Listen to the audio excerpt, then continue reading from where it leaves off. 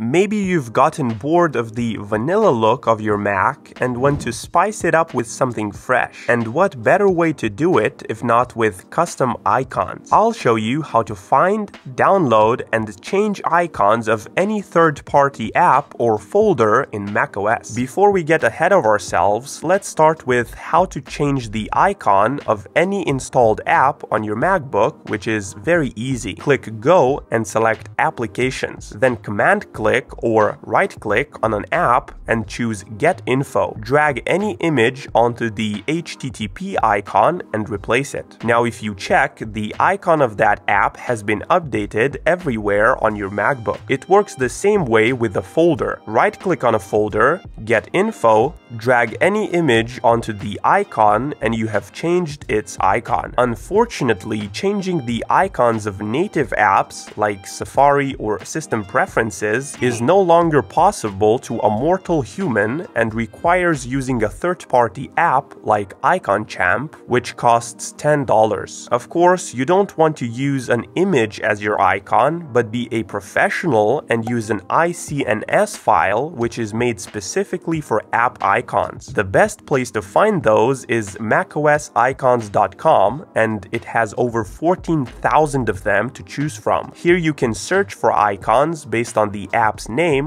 or pick just any icon you think looks cool. And once you have, tap on it to download. Although I change my icons frequently, here are a few of my favorite ones for the apps that I use most at the moment. I use this one for Chrome because I prefer dark mode, I use this for Spotify because I think it just looks cooler than the default one, this for Photoshop because it's more 3D, and this one for ScreenFlow, which is a screen recording software. Now, if you do decide to use an image as your icon, try downloading it in a PNG format because this format supports transparency. That means that you won't see these hard edges on your folder icon and it will have a nice transparent background. Now, you'll probably end up disliking some of the icons that you apply to your apps. So to reset an icon to the default one, right click, get info,